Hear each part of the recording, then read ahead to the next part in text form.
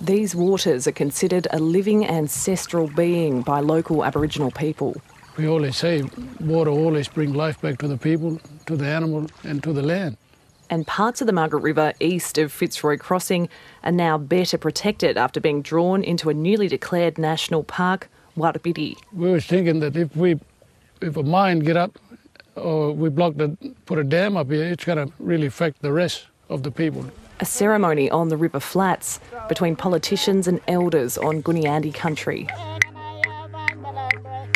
marking the commitment to the new conservation area. Hopes that it will both protect the land and create opportunities. There will be more jobs when it comes to looking after country. You know, we have a lot of country to cover, so the more rangers we have, you know, the more better we can look after our country. The state government initially promised a single national park covering the Fitzroy River, but changed its approach. This is the first national park in the Fitzroy Valley, but it is part of a series of national parks we're currently working on. The declaration of the Warlibirri National Park means it's now an A class reserve. That means it's protected. It can't be dammed or developed unless both houses of parliament approve.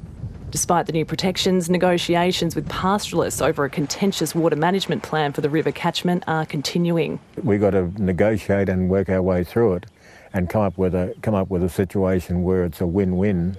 For now, the Gooniyandi people are savouring a historic moment. Jessica Hayes, ABC News, Fitzroy Crossing.